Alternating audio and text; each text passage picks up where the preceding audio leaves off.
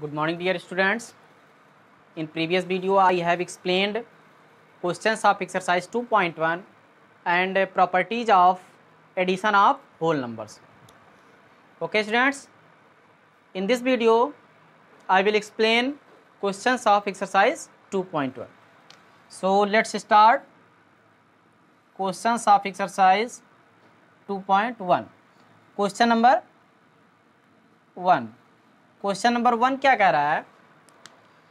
Question number one जो है, one का फ़र्स्ट पार्ट है ये, दो पार्ट में दिया हुआ है क्वेश्चन नंबर वन। और फ़र्स्ट पार्ट क्या है? Is the sum of two even numbers an even number verify with taking whole numbers कह रहा है कि इसमें क्या दो इवन नंबर्स का सम एक इवन नंबर होता है? Verify with taking whole numbers verify करना है फिर हमको होल नंबर्स को लेकर के हमको उसको हमको उसको वेरीफाई करना है कि क्या दो इवन नंबर्स का जो सम होगा वो इवन नंबर होगा। Let two even whole numbers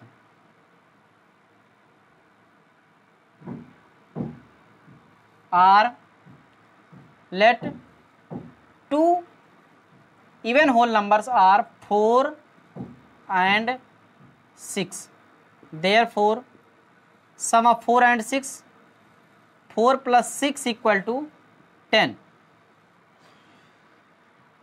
four plus six equal to ten which is an even number which is an even number हम दो इवेन से लिए थे, और उन दोनों का सम क्या आ रहा है? वो भी क्या आ रहा है? एक इवेन नंबर आ रहा है, यही हमको वेरीफाई करना था। Hence sum of two even numbers sum of two even numbers is an even number is an even number यही हमको वेरीफाई भी करना था कि दो इवेन नंबर्स का सम क्या, एक इवेन नंबर होता है तो क्या होता है? क्या है? Sum of two even numbers is an even number next ऐसे क्वेश्चन नंबर सेकंड जो इसका सेकंड पार्ट क्या कर रहा है? Is the sum of any two odd numbers an odd number क्या दो ऑड नंबर्स का सम एक ऑड नंबर होता है? Give example in support of your answer तो इसका जो आंसर होगा वो नो होगा। कह रहा है कि is the sum of any two odd numbers कि नहीं, दो ऑड नंबर्स का जो सम होता है वो क्या ऑड नंबर होता है तो आंसर होगा क्या? नो फ़र्स्ट का सेकंड पार्ट क्या हो जाएगा? नो अब इसमें क्या कह रहा है कि एग्ज़ाम्पल लिख देना है with support of your answer आपके आंसर के लिए सपोर्ट में एक एग्ज़ाम्पल देना है। तो एग्ज़ाम्पल क्या हो जाएगा? एग्ज़ाम्पल हम ले लेते हैं three and five three plus five three and five अगर हम ले लेते हैं तो three plus five equal to क्या आ रहा है? एट आ रहा है। ये दोनों आठ नंबर थे।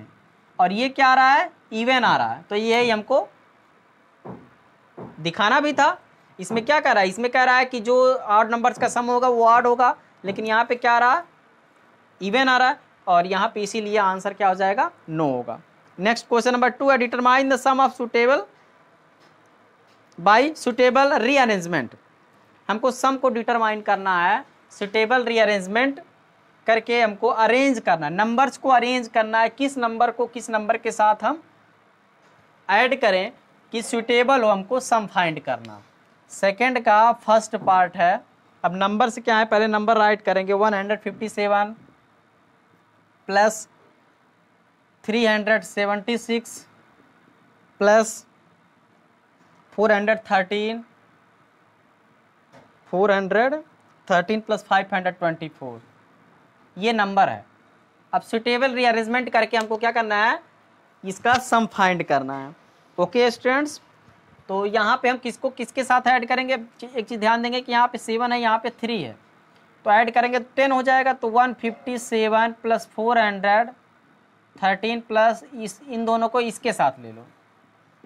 Plus five hundred twenty four अब यहाँ पे एक चीज़ देखेंगे ऐड करेंगे सेवन थ्री टेन और five one six one seven seven three ten one carry five one six one seven और ये फोर वन फाइव प्लस यहाँ पे क्या हो जाएगा? Six, four, ten, one carry, seven two nine, one ten और five, three, eight, one nine. Nine, five, fourteen. ये हो गया आंसर आप लोगों का। One thousand four hundred seventy. अब एक चीज़ ध्यान देंगे कि अरेंज किए, देखिए यहाँ पे इन दोनों को एक साथ किए, नाइन हंड्रेड हो गया। इन दोनों को साथ करेंगे तो फाइव हंड्रेड सेवेंटी हो जाएगा। तो इजी हो गया सुटेबल हो गया हम, हमको इसका सम फाइंड करने के लिए। तो यही क्या होता है? सुटेबल रीअरेंजमेंट होता है। किस नंबर को किस नंबर के साथ हम ऐड करें, ओके? तो इसके दो पार्ट और हैं, ऐसे ही सुटेबल रीअरेंजमेंट करके रीअरेंज अरेंज करेंगे नंबर्स को, उसके बाद हम सम फाइंड करेंगे, okay? Next question number third है आप लोगों का। क्वेश्चन नंबर थर्ड में क्या कह रहा है? एक मैजिक स्क्वायर है। A magic square is an array of numbers having the same number of rows and columns and the sum of numbers in each row column or diagonal being the same fill in the blank cells to complete the magic square जो blank cells हैं, उनको fill करना है उस magic square को complete करने के लिए। और एक चीज़ दिया है कि जो कॉलम है, इस टाइप से जो इसमें रो है ये और नंबर ऑफ़ कॉलम्स जो हैं, वो सेम हैं। जितने इस साइड में हैं, उतने ही इस साइड में हैं। और एक चीज़ क्या कह रहा है कि डायगोनल के सेल्स में जो नंबर है, उनका सम कॉलम्स के नंबर्स का सम रो के नंबर्स का सम सब क्या है? इक्वल हैं। तो जो ब्लैंक सेल है, उसको फिल करना है फिल करके वही बताना है, इसमें वही चीज़ करना है। इसको आप लोग करेंगे। नेक्स्ट क्वेश्चन नंबर फोर है। Add each of the following and check by reversing the order of addends हमको क्या करना है? ऐड करना है। उसके बाद चेक करना है कि हम अडेंट्स को रिवर्स करके ऐड करें। तो क्या दोनों कंडीशंस में आंसर सेम आ रहा है? फोर का फ़र्स्ट हम ऐड करते हैं। फोर का फ़र्स्ट क्या है? Three hundred twenty five plus four thousand nine hundred sixty four. Add करेंगे फाइव फोर ये क्या हो गया? Five four nine next six two eight nine three twelve four one five five thousand two hundred eighty nine आ रहा है। Five thousand two hundred eighty nine अब अगर after after reversing addends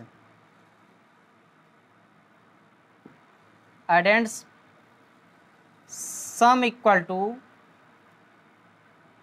reverse करेंगे, इसको पहले राइट करें, इसको बाद में राइट करें। Four thousand nine hundred sixty four plus three hundred twenty five. क्या हो गया? Five four nine, six two eight, nine three twelve, four one, five. Five thousand two hundred eighty nine, अब भी आ रहा है। Five thousand two hundred eighty nine, पहले भी आ रहा था। Okay, students? तो यही चेक करना था हमको। पहले सम कितना आ रहा है, उसके बाद आफ्टर रिवर्सिंग एडेंट्स को जब हम रिवर्स कर रहे हैं, तब जो सम आ रहा है वो दोनों क्या आएँगे? इक्वल आएँगे, क्योंकि कम्यूटेटिव होता है। होल नंबर्स का जो सम होता है, वो कम्यूटेटिव होता है। तो कम्यूटेटिव है a plus b equal to b plus a okay तो ऐसे ही बाकी के सबका चेक करेंगे। क्वेश्चन नंबर फोर के दोनों पार्ट्स को ऐसे सॉल्व करेंगे, हम चेक करेंगे। नेक्स्ट है do the following calculation by suitable rearrangement suitable rearrangement से हमको क्या करना है? कैलकुलेट करना है। सुटेबल रीअरेंजमेंट से कैलकुलेट करना है question number five solution number हो जाएगा फाइव तो सबसे पहले हम क्वेश्चन राइट करते हैं। Thirty four thirty five thirty six thirty seven sixty five sixty three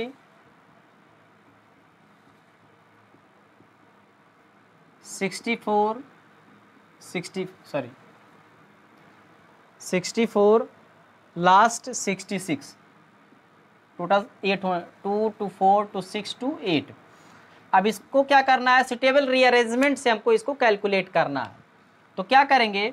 एक चीज़ ध्यान देंगे थर्टी फोर को अगर हम सिक्सटी सिक्स के साथ ऐड करें तो क्या आ जाएगा? हंड्रेड तो इसको, इसके साथ ऐड करेंगे।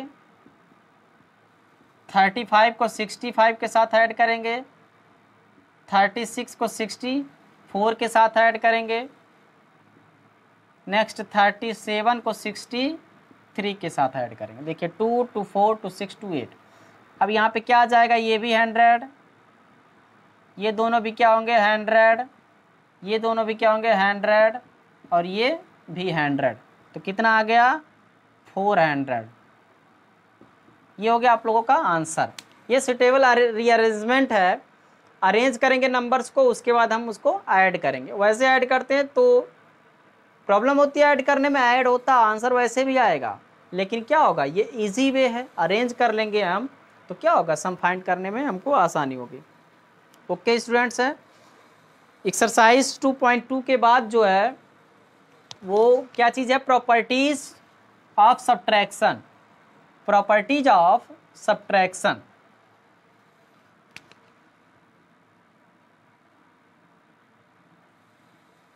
properties of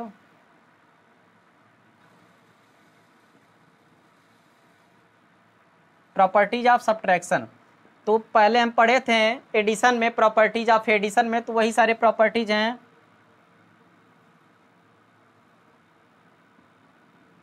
commutative property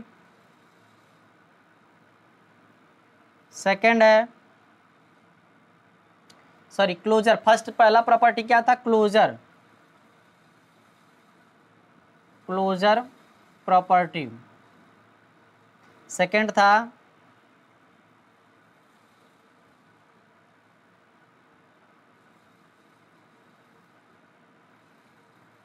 commutative property और थर्ड क्या था property of zero property of zero fourth property जो है एसोसिएटिव प्रॉपर्टी